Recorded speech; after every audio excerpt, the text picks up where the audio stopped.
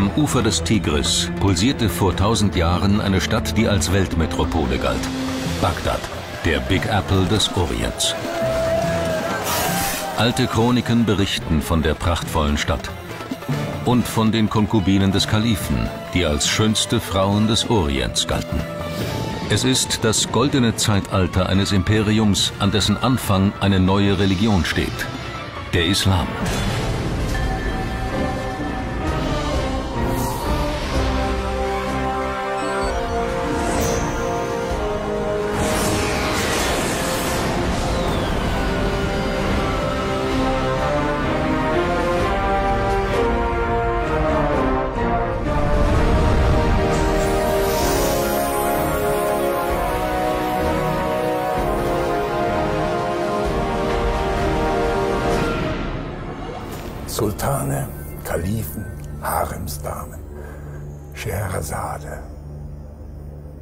So das, was mir einfällt, wenn ich an das Morgenland denke, an den Orient. Klischees, ja. Klischees aus Tausend und einer Nacht. Kinder lieben solche Geschichten. Und nicht nur Kinder. Als Sindbad, der Seefahrer, die Welt erobern, mit Alibaba und den 40 Räubern durch die Wüste reiten und dann das hier. Aladdins Wunderlampe. Man braucht bloß ein bisschen dran zu reiben und schon erscheint ein Djinn. Ein guter Geist. Der macht dann alles, was man will. Nun, das ist natürlich pure Fantasie, reiner Aberglaube. Wir erwachsenen Europäer wissen längst, Gespenster gibt es nicht. Wir halten uns für rational und den Orient für hoffnungslos fabulierlustig. Aber einst, da war das Abendland voller Bewunderung für das Morgenland, für das glänzende Imperium der Kalifen. Gute tausend Jahre ist das her. Und ganz erstaunlich, alles beginnt mit einer schweren Krise. Der Anfang dieser Erfolgsstory sieht ganz so aus wie ein Ende.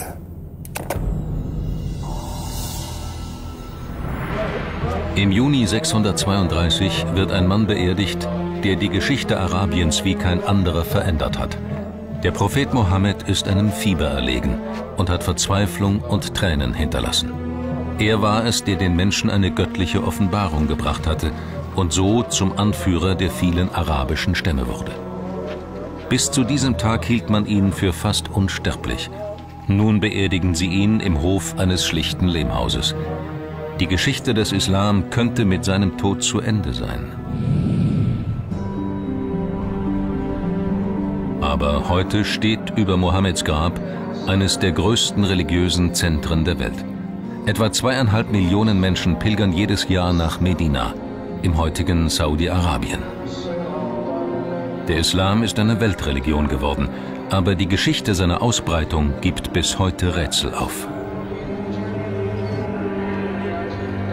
We know that wir wissen, dass es im Jahr 632, als der Prophet starb, kein islamisches Reich gegeben hat. Wenn überhaupt ein islamischer Staat existierte, dann beschränkte er sich auf Mekka, Medina und das heutige Saudi-Arabien.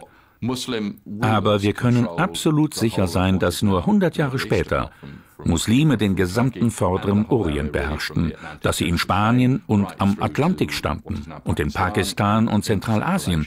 Etwas muss also passiert sein. Aber was war es? Die Spurensuche beginnt hier im siebten Jahrhundert mit einem handfesten Streit. Ein Streit darüber, wer Mohammeds rechtmäßiger Nachfolger sei. Denn der Prophet hatte es zu Lebzeiten versäumt, einen Erben zu benennen und ohne Anführer steht die Einheit der arabischen Stämme auf dem Spiel. Er hat die besten Chancen im Machtpoker. Abu Bakr, ein Schwiegervater Mohammeds und sein Vertrauter. Unter den Augen des Volkes einigt man sich schließlich. Sie nennen ihn Khalifa, das heißt Nachfolger. Der Khalifa, der Kalif, soll Mohammeds Werk fortführen, mit dem Schwert des Propheten die Stämme zusammenhalten. Der Lebensraum der arabischen Stämme ist heiß und karg. Das aber hat die Menschen nicht am Aufbau einer einzigartigen Kultur gehindert. Antike Karawanenstädte wie Palmyra in Syrien zeugen noch heute vom Triumph des Menschen über die Trockenheit. Die Wüste ist den Menschen ein guter Lehrmeister. Sie lehrt sie beweglich zu sein, nach neuen Überlebenschancen zu suchen. Seit dem Altertum treiben die arabischen Stämme Handel entlang großer Karawanenrouten. Die Menschen lernen, große Distanzen zu überbrücken, dank eines Transportmittels, das in der Wüste bis heute wohl unübertroffen ist. Das Dromedar, auch arabisches Kamel genannt.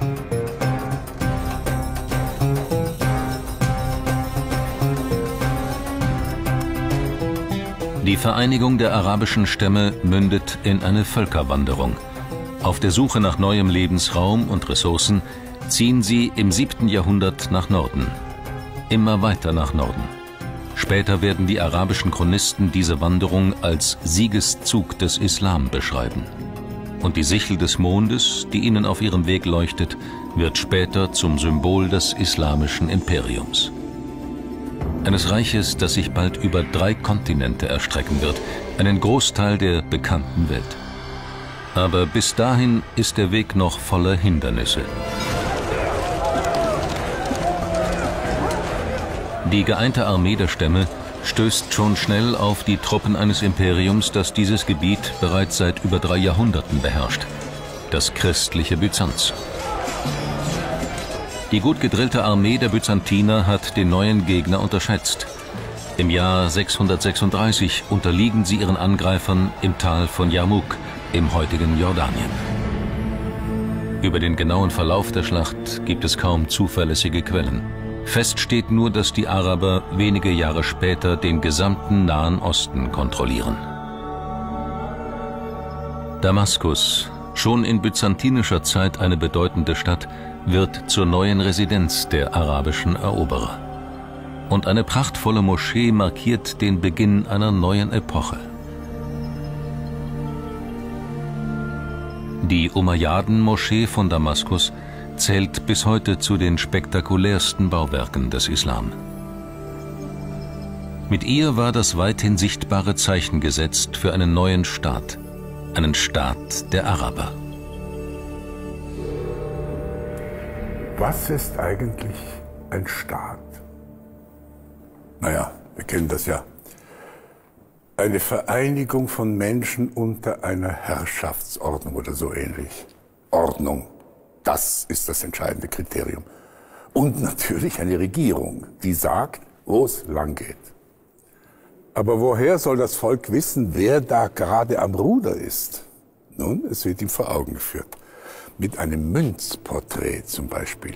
Auf dieser Münze ist das Abbild eines gewissen Abdel Malek.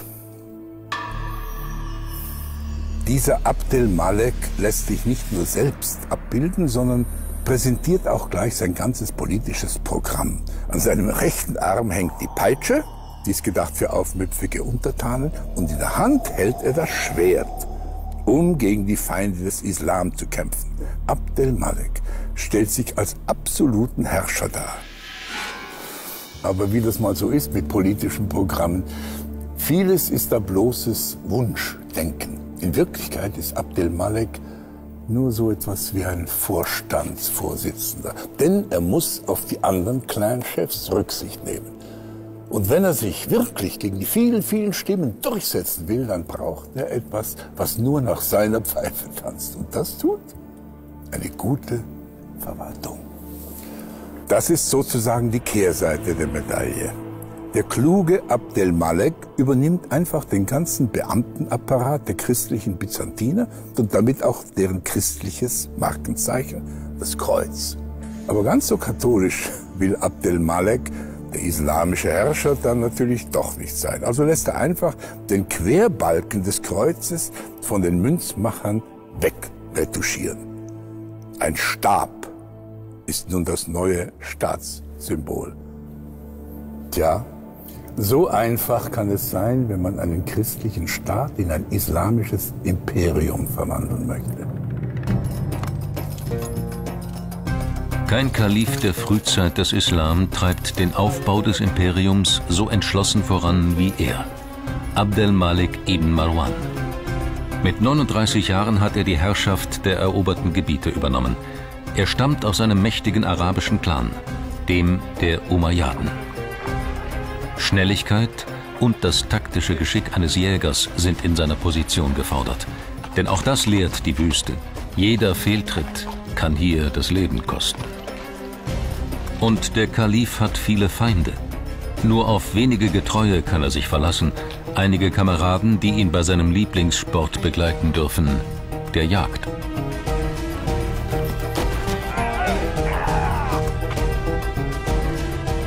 Abdel Malik ist ein Herrscher, der noch ganz zwischen Wüste und Palast lebt. Einerseits mächtiger Führer, andererseits ein fröhlicher Sohn der Natur, der einen ganz einfachen Lebensstil pflegt. Den Lebensstil eines freien Beduinen.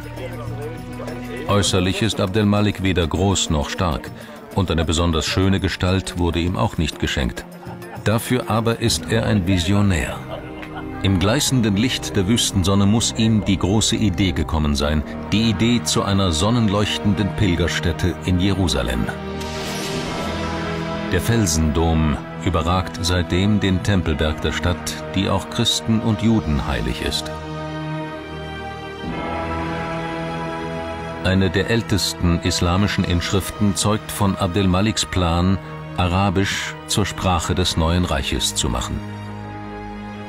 Und die Legende erzählt, dass einst von hier aus der Prophet Mohammed zu einer Reise in den Himmel aufbrach.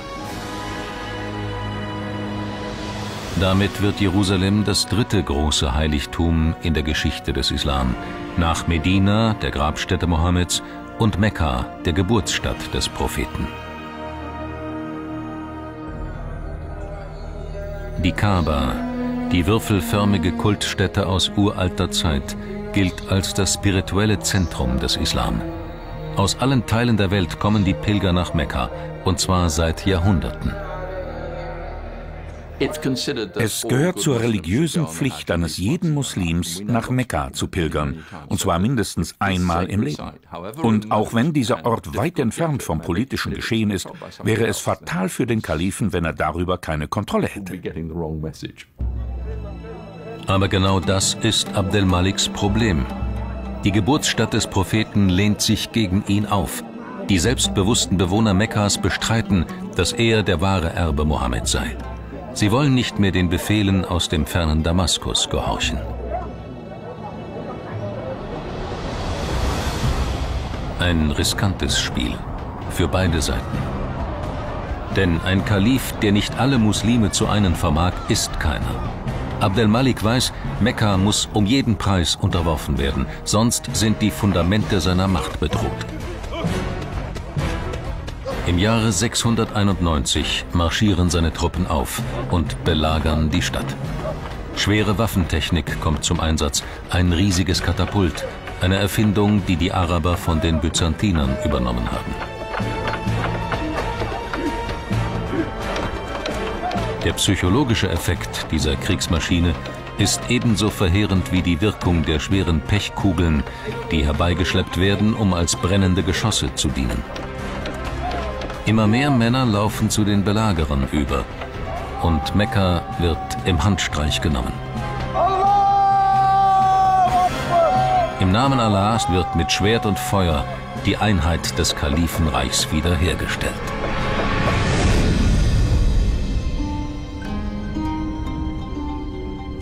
Für die siegreiche Dynastie der Umayyaden bricht nun eine goldene Zeit an, die gut 50 Jahre währt.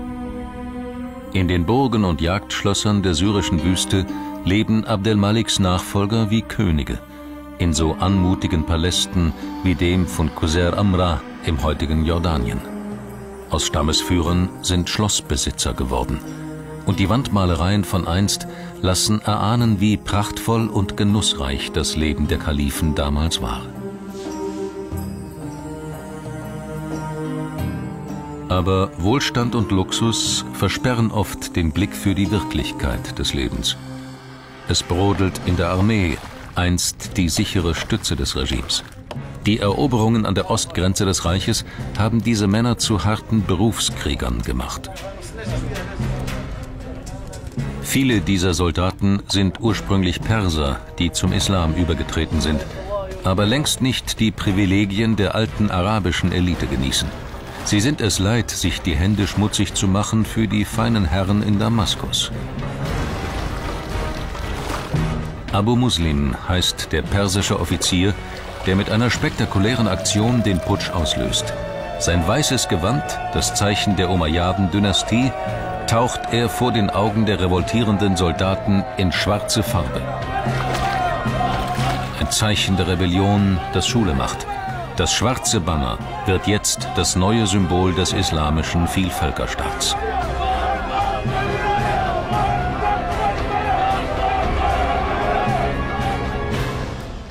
Schwarz, das ist im Orient nicht die Farbe der Trauer, das ist die Farbe der Revolution, die Farbe des Aufbruchs.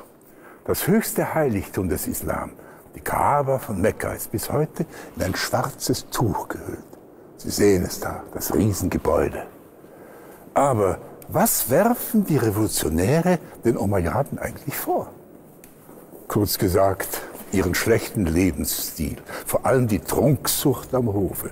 Im Koran Fünfte Sure, Vers 90 heißt es dazu ganz klar, der Rausch und das Glücksspiel, beides ist Teufelswerk. Aber wie so oft, die Gründe für den Aufstand sind eher vorgeschoben, denn getrunken und gespielt wurde im Kalifenhof vorher und nachher. Nein, hinter dem Putsch stehen ganz andere, ganz handfeste Interessen. Es geht um die Streitfrage, die den Islam von Anfang an begleitet. Wer ist der rechtmäßige Nachfolger Mohammeds? Wer wird Kalif? Die stärksten Clans versuchen ihre Kandidaten durchzusetzen. Und im 9. Jahrhundert sind es zwei junge Brüder, die die besten Chancen haben. Amin aus dem Geschlecht der Abbasiden ist als erster vom Vater ausersehen, einst Kalif zu werden. Den ganzen Koran muss er auswendig lernen. Gottes Wort in seinem Herzen soll ihn legitimieren. Aber Amin hat starke Konkurrenz. Sein Halbbruder Mamun ist ein fleißigerer Schüler, ehrgeiziger und cleverer. Ein kindlicher Wettstreit zwischen ungleichen Brüdern mit furchtbarer Konsequenz. Einige Jahre später wird Mamun ein erwachsener Mann sein und den abgeschlagenen Kopf seines Bruders in den Händen halten. Rücksichtslos, durchsetzungsstark, kühl berechnend. Mamun ist ein gewiefter Machtpolitiker. Obwohl sein Anspruch auf das Kalifat umstritten ist, hat er schon mit 26 Jahren die Macht an sich gerissen. Und er beherrscht längst die Farbenlehre des Imperiums. Grün ist jetzt das Erkennungszeichen derer, die sich auf die Blutlinie Mohammeds und seines Schwiegersohns Ali berufen. Ihr Familienschatz ist Alis Schwert mit Doppelklänge. Der angesehenste unter ihnen heißt Ali Reza. Mit seiner Hilfe hat Mamun den Bruderkrieg für sich entschieden. Dafür will er Ali Reza an der Herrschaft beteiligen. Aber nach errungenem Sieg wird das Versprechen dem Kalifen lästig. In einem Militärlager im östlichen Iran stirbt Ali Reza wenig später. Die Todesursache wird nie geklärt. Bis heute gilt Ali Reza als Opfer Mamuns. Vor allem bei der Glaubensgemeinschaft der Schiiten wird er heute noch als achter Imam, als Heiliger verehrt. Aber sein Tod macht deutlich, dass sich die islamischen Realpolitiker im Reich schon im 9. Jahrhundert an ganz anderen Maßstäben orientierten als nur am Vorbild Mohammed. Wie führt man eine Monarchie und was tun große Könige? Als man sich diese Fragen stellte, da blickte man natürlich auf das Beispiel Mohammeds. Aber das genügte nicht. Vor allem orientierte sich der Kalif jetzt am Vorbild der alten persischen Könige. Die Gräber und Reliefs der persischen Könige im heutigen Iran zeugen von Glanz und Größe eines alten vorislamischen Reiches. Die arabischen Eroberer veränderten zwar die Herrschaftsverhältnisse, aber die alte Kultur, in die sie eintraten, veränderte auch sie. Das Zentrum ihres Reiches hat sich immer mehr nach Osten verschoben, in das Herz des alten Orients, nach Mesopotamien, dem Land zwischen Euphrat und Tigris. Schon zur Zeit der Perser war das Zweistromland ein Knotenpunkt des Welthandels. Hier kreuzten sich Karawanenrouten aus aller Herren Länder. Am Ufer des Tigris gründen die Kalifen nun eine Stadt, die nicht zufällig einen alten persischen Namen trägt. Ein Name, der alle Wohltat ausdrückt, die von diesem lebensspendenden Wasser ausgeht. Bagdad, das heißt Geschenk Gottes. Auf dem Fluss tanzen chinesische Dschunken neben assyrischen Flößen, schwärmt ein Chronist. Und in der kreisrunden Stadt liegen wunderbare Gärten, Villen, Basare, kunstvoll erbaute Moscheen und Badehäuser. Der Palast des Kalifen befindet sich inmitten eines Parks, den zu umlaufen ein Mann mehrere Stunden braucht.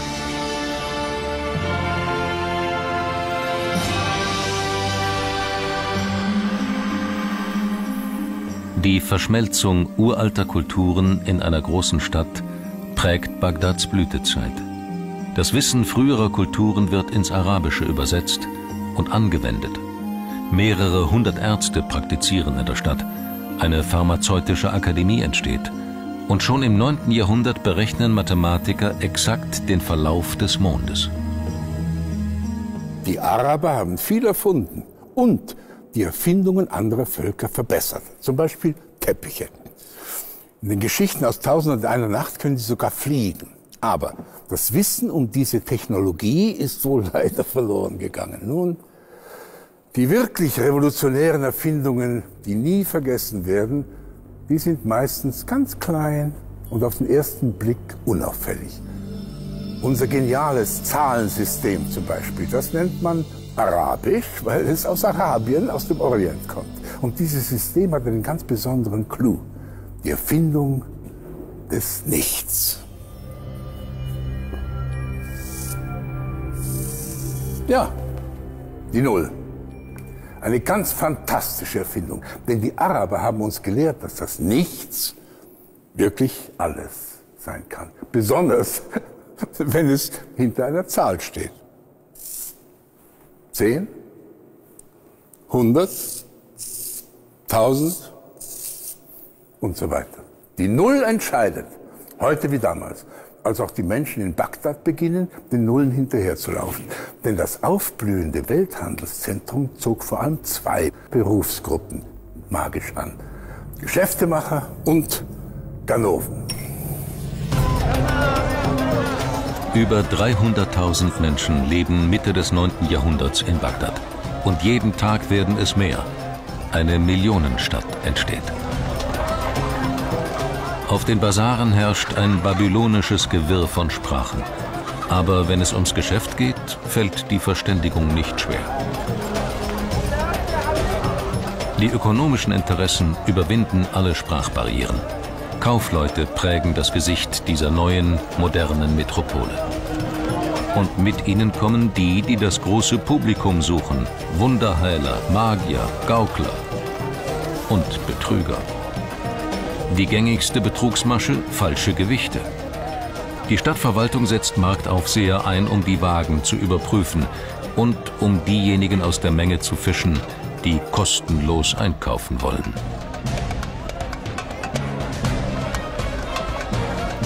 Der legendäre Dieb von Bagdad ist keine zufällige Erfindung von Märchenerzählern, sondern er spiegelt eine soziale Realität wider. Bagdad ist berüchtigt als Metropole der Langfinger. Man nennt sie Banu Sassan.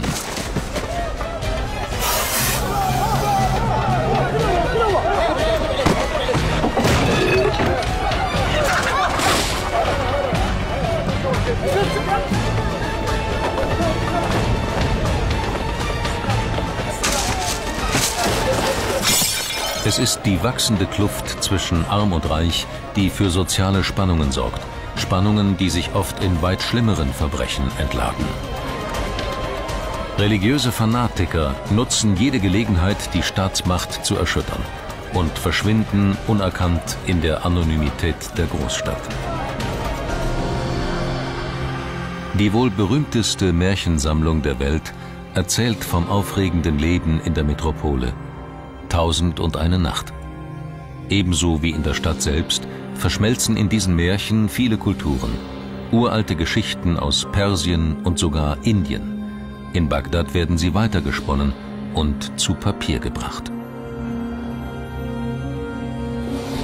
Auch der Kalif Mamun kommt darin vor. Der skrupellose Machtmensch, der keinen Widerspruch duldet und an dessen Seite im Kalifenpalast stets der Henker steht.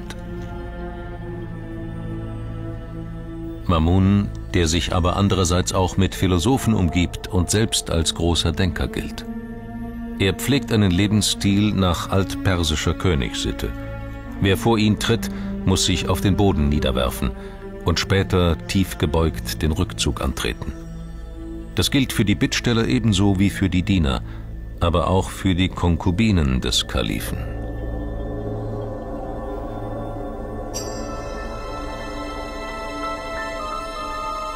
Unter ihnen sind schöne Perserinnen, die nicht zufällig einer sagenhaften persischen Märchenheldin ähneln, der Erzählerin der Geschichten aus Tausend und einer Nacht, Scheherazade, die ihrem sicheren Tod nur dadurch entging, dass sie jede Nacht eine neue Begebenheit erfand. Sie hat die Maler aller Zeiten inspiriert. Scheherazade, vielleicht die größte Geschichtenerzählerin, die es je gab die Erfinderin der tausend- und einteiligen Telenovela, wenn Sie so wollen. Schon lange bevor es Fernsehen gab. In Bagdad, boom, das Gewerbe der Geschichtenerzähler und das der Buchhändler, alles ist auf dem Bagdader Büchermarkt zu haben. Religiöse Werke, neueste medizinische Fachliteratur, Philosophen, sogar Satire und Lyrik.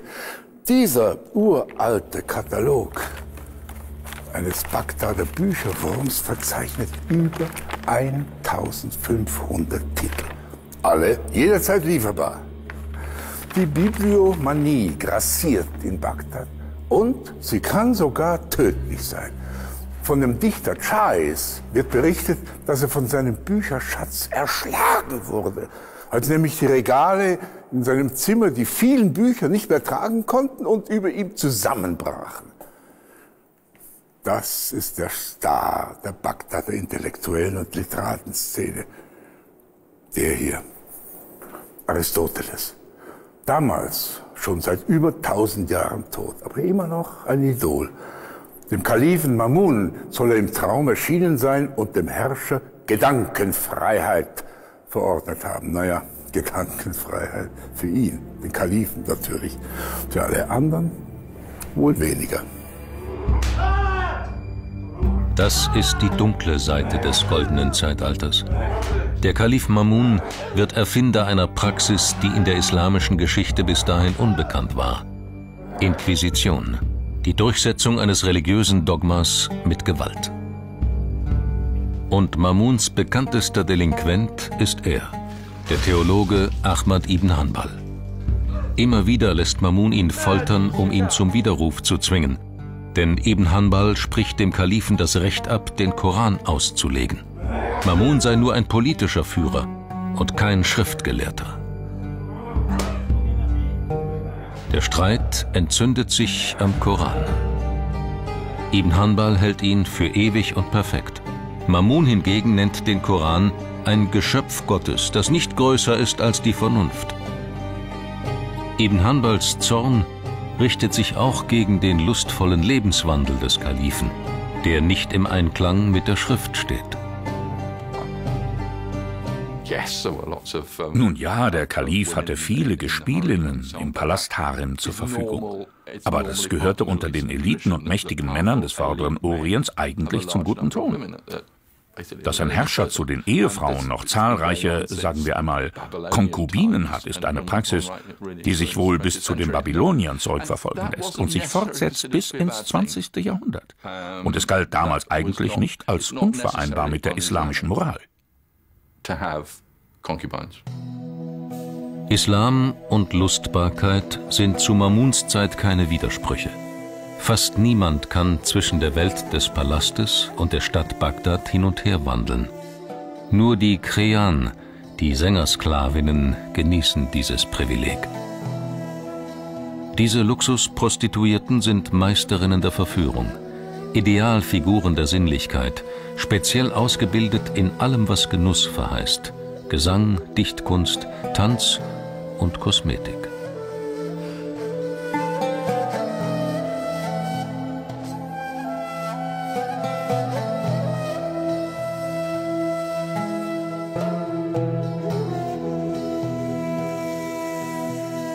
Wenn der Teufel sonst keine Schlingen besäße, um einen Mann zu Fall zu bringen, schreibt der Dichter Jahis, so würden ihm die Sängersklavinnen wohl genügen. Ihre Anmut kennt nicht ihresgleichen. Sie rufen in einem Mann die gefährliche Liebeskrankheit hervor.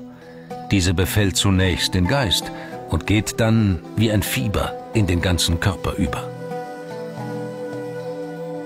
Leidenschaft, so weiß der Dichter, ist eben eine schwere, kaum zu heilende Infektion.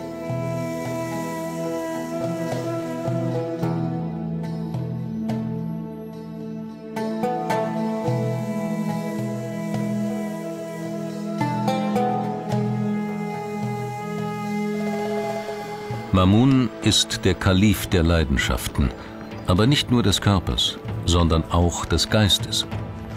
Im 23. Jahr seiner Herrschaft bricht er zu einer Reise in die Provinzen auf. Er will die Werke der großen Herrscher sehen, die vor ihm waren. Die Pyramiden von Gizeh faszinieren ihn. Mehr noch allerdings das, was sich in ihrem Inneren verbergen soll – von einem riesigen Goldschatz wird gemunkelt.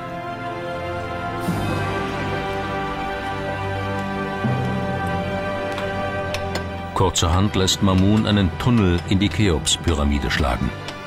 Den Schatz des Pharao findet er allerdings nicht. Aber Ägyptens Tempel und Ruinen erzählen ihm von den Geheimnissen einer untergegangenen Zivilisation.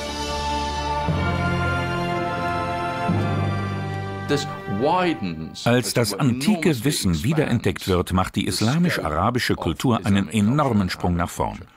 Das klassische Erbe wird eine unerschöpfliche Quelle der Inspiration. und das ist zu einem großen Teil Mamun zu verdanken.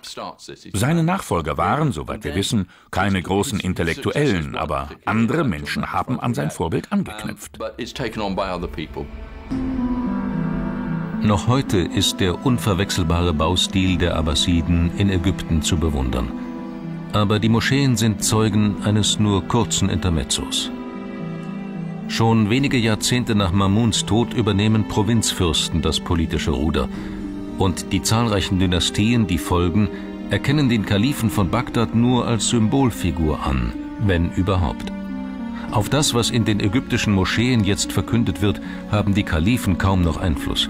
Ihre religiöse Führung wird Geschichte. Und die einstige Provinzstadt Fustat entfaltet sich zur neuen Metropole Kairo, der Stadt, die heute zum größten Ballungszentrum der arabischen Welt herangewachsen ist. Das islamische Großreich zerfällt.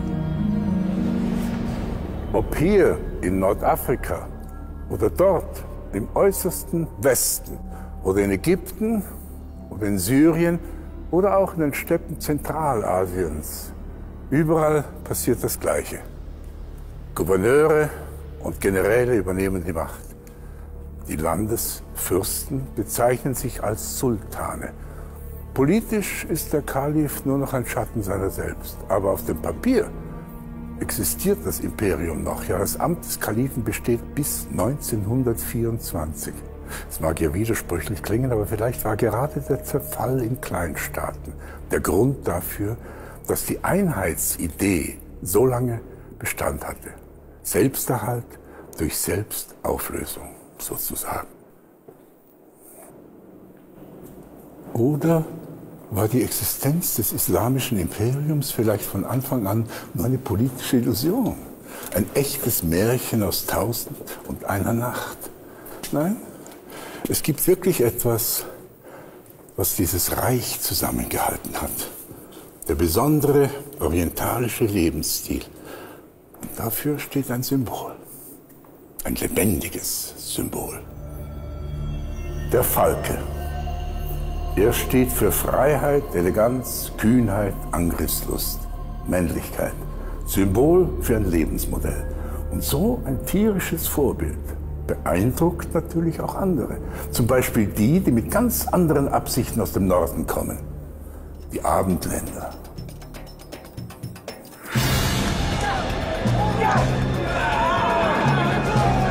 Wieder ein Kulturaustausch, der mit furchtbaren Schwerthieben beginnt. Der Angriff der christlichen Kreuzritter hat die islamische Welt kalt erwischt. Die Männer aus dem fernen Norden waren von den Muslimen nie als ernsthafte Gefahr erkannt worden.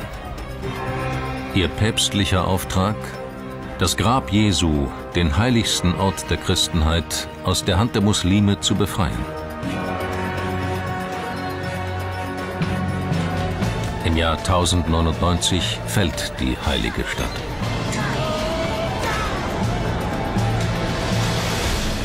Christliche Gnade und Barmherzigkeit sind vergessene Worte bei diesem Kampf der Kulturen. Keiner hat jemals solches Morden gesehen, schreibt erschüttert ein fränkischer Chronist. Unsere Männer warteten bis zu den Knöcheln in Blut. Einen Tag und eine Nacht dauert das Massaker. Am Morgen danach liegen an die 30.000 Tote in den Straßen. Ihre christliche Pflicht haben sie erfüllt. Als Lohn dafür sind ihre Sünden vom Papst vergeben. Viele von ihnen werden in ihre Heimat zurückkehren, einige aber werden bleiben. Hier und da entstehen christliche Fürstentümer. Krieg ist kein Zustand auf Dauer. Freund und Feind nähern sich an. Bald sieht man Franken auf Straßen und Märkten in den arabischen Städten. Die abendländischen Migranten lernen das orientalische Leben zu schätzen.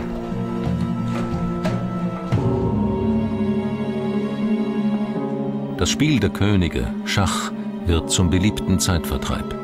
Ein Spiel, das wie kein anderes das Verhältnis zwischen den abendländischen und den muslimischen Fürsten widerspiegelt. Ein wechselseitiges Belauern und Beobachten. Und dann und wann ein überraschendes Schachmatt. Doch am Ende werden die Christen im Kampf um die wirkliche Herrschaft unterliegen. Kaum 100 Jahre nach der Eroberung Jerusalems werden sie vertrieben. Die christlichen Fresken im Kloster Mar Musa nördlich von Damaskus sind wie ein Abgesang auf den mittelalterlichen Wahn eines befreiten heiligen Landes. Sie beschwören die uralte christliche Sehnsucht nach der Auferstehung am jüngsten Tag. Zurückgelassene Sehnsüchte aus einer Epoche, in der die Liebesbotschaft Jesu ebenso wie das Friedensgebot des Islam mit Blut und Schwert entstellt wurden.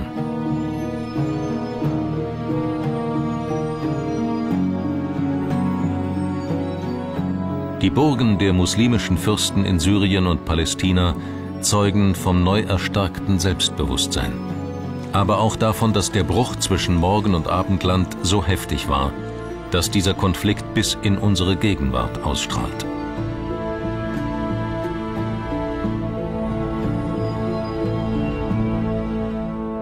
Auch der Kalif von Bagdad ist durch die Zersplitterung seiner Einflussgebiete in eine aussichtslose Lage geraten. Aus Angst vor Aufständischen und Konkurrenten haben sich die Herrscher am Tigris mit türkischen Söldnern umgeben keine gute Idee. Denn nach und nach haben die Militärs den Kalifen isoliert. Wie ein kostbares Heiligtum wird er den Blicken der Sterblichen entzogen. Und ohne die Erlaubnis der Junta gelangt niemand hierher. Seine Herrschaft hat der Kalif längst verloren. Nur das pompöse Schauspiel bleibt. Aber auch dieser kleine Rest von Machtgefühl geht bald verloren und mit den fremden Reitern, die im Jahr 1258 in den Palast eindringen, wird auch das alte Bagdad untergehen. Kalif al-Mustasim hat keine Mittel mehr, um sich und seinen Hof zu schützen. Das alte Hofzeremoniell, jetzt wird es von Pferdehufen zertrampelt. Hinter dem Reiter, der sich um Sitte und Anstand nicht schert, stehen 100.000 Krieger. Der wilde Nomadenführer aus dem Osten stellt keine Bedingungen. Er ist gekommen, um zu vernichten. Es ist der Mongole Hülagü, ein Enkel des gefürchteten Genghis Khan. Hülagü wird zum Totengräber des islamischen Weltreichs. Er wird den Kalifen schmählich zu Tode trampeln lassen. Und das stolze Bagdad macht er dem Erdboden gleich.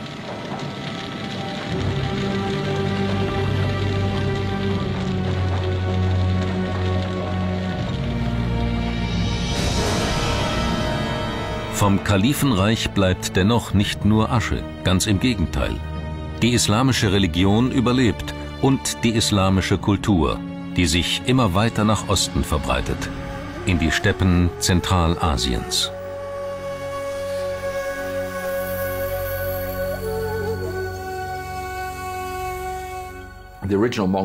Ursprünglich sind die Mongolen heidnische Nomaden aus der Steppe, die keine Verwendung für schöne Künste und Zivilisation haben. Städte erscheinen ihnen nur als Verschwendung guten Weidelands. Was sie interessiert, ist Gras für Pferde und Vieh, alles andere wird niedergerannt. Aber schon ein paar Generationen nach dem Ende der Eroberungen entwickeln sie offenbar den Ehrgeiz, an die große staatliche Tradition des islamischen Orients anzuknüpfen. Unter der Herrschaft der Mongolen bricht eine neue Blüte orientalischer Kultur an. Die Eroberer aus der Steppe nehmen den Islam an und finden Gefallen am Lebensstil, der einst das Kalifenreich prägte.